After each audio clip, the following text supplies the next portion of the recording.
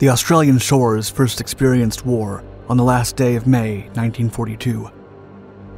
Until then, the global conflict had been just a distant rumor. But when the Japanese Imperial Navy attacked Sydney Harbor and surprised everyone, yet another continent had been pulled into the chaos. An uneasy atmosphere could be felt in the port shortly before midnight, and the sailors in the docked vessels were restless.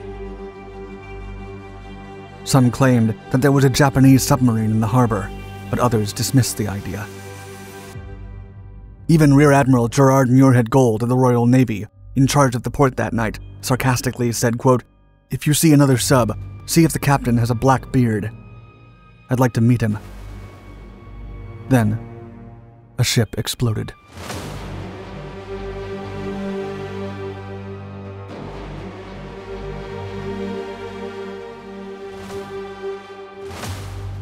Surprise attack. On May 29, 1942, five massive Imperial Japanese Navy first class submarines from the 8th Submarine Squadron rendezvoused about 35 nautical miles northeast of Sydney Harbor. They were led by Captain Hankyu Sasaki. A couple of weeks earlier, the submarines had been ordered to proceed to the Japanese naval base at Truk Lagoon in the Caroline Islands to receive some precious cargo that would be useful in their next mission. Before the break of daylight the following morning, the squadron executed aerial reconnaissance sorties, carefully assessing their targets. I 21 and I 29 each carried a Yokosuka E 14Y1 Glen floatplane and looked at several Australasian harbors to detect the most vulnerable ones. While I 21 surveyed Noumea, Suva, and Auckland, I 29 went to Sydney. Her floatplane then flew a daring reconnaissance mission over the port, circling the cruiser USS Chicago twice, and then returning to the east. The bold aerial intrusion was observed and reported by the enemy, but no special defensive measures were implemented. At the time, the defenses at Sydney Harbor consisted of eight anti submarine indicator loops and a partially constructed boom net with wide gaps of 400 meters at each side. Material shortages had prevented its completion, so the poorly constructed barrier remained the only defense for the peaceful ships resting at the port.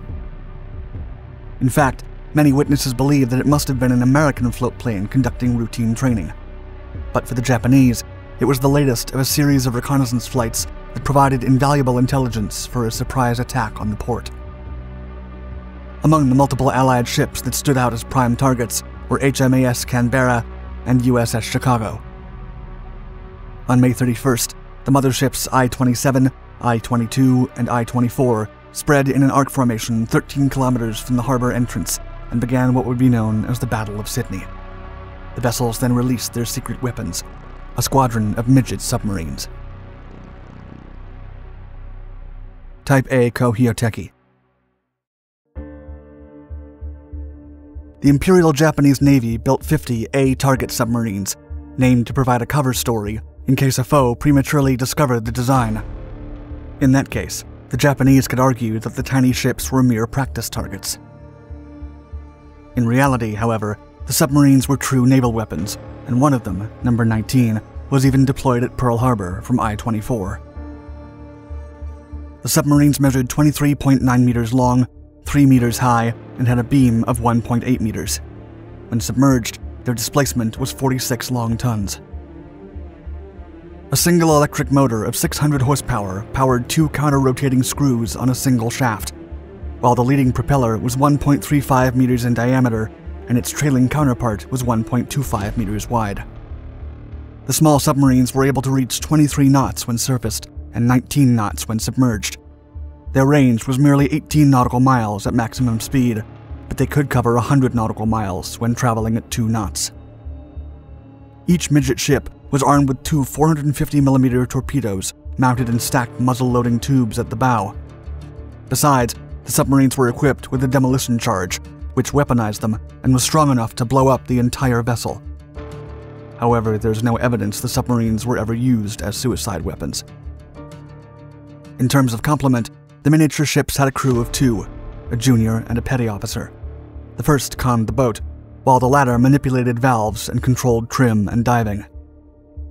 In addition, the vessels had hull numbers, but were given no names and were identified by their mothership's number. Most of the midget submarine fleet was unaccounted for, but one operation at Sydney Harbor in the summer of 1942 did make it into the annals of history. Low Guard. On the day of the attack, six of the defense's indicator loops were inactive. Moreover, the North Head South Head indicator loop was known to give faulty signals, and with civilian traffic often passing over, guards usually dismissed the readings. Still, May 31st was no drill. M27 was the first midget submarine to enter the harbor at approximately 8 p.m. She had barely entered the area when her propellers became entangled in the western boomgate anti submarine net. Soon, the disturbance in the water's surface drew unwanted attention, and the snared vessel was spotted and reported.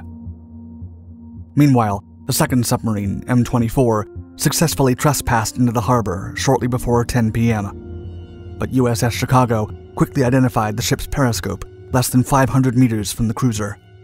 Alert sailors on the deck turned a searchlight on the area and opened fire, but their guns couldn't be sufficiently depressed, and the gunfire had no discernible effect. The submarine appeared to have escaped. Subsequently, the patrol boats HMAS Yarroma and HMAS Lolita approached to investigate the object trapped in the net. But the proud Japanese sailors would give it their all before being captured and as they realized they wouldn't free their ship in time, they fired demolition charges, destroyed the submarine, and perished in the explosion. At 10:37 p.m., a general alarm was finally raised. Chaos ensued as visibility was limited and ferries continued to hunt the submarines down.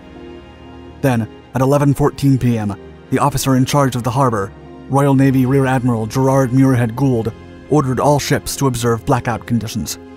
Still, floodlights remained on until 12:25 a.m.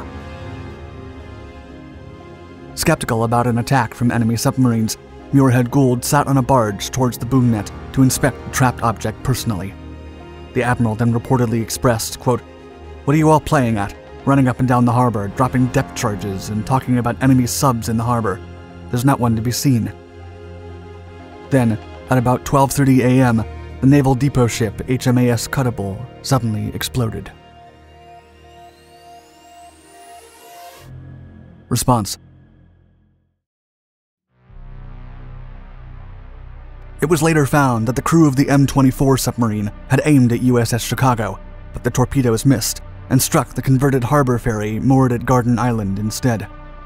The mistake sealed the fate of 19 Australian and two British sailors.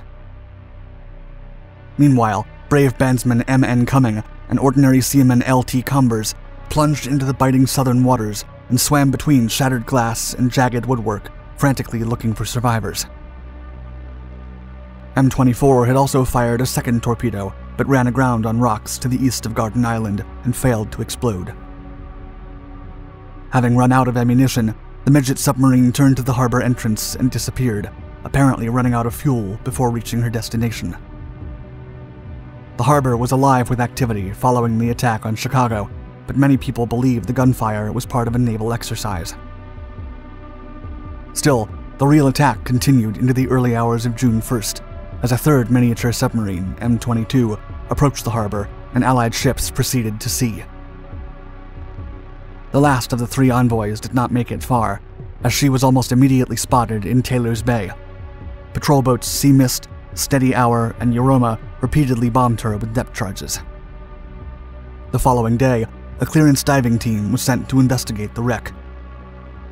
Despite the damage, the engines were still, and the propellers turned slowly.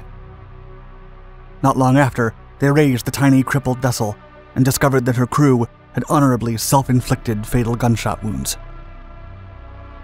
After it became evident that their midget submarines were not coming back, the defeated Japanese motherships departed.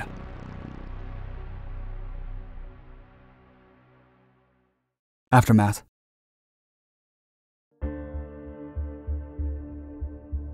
Before the audacious attack, Sydneysiders regarded the war as a somewhat distant conflict, but the Japanese midget submarines made sure to bring the war to their shores.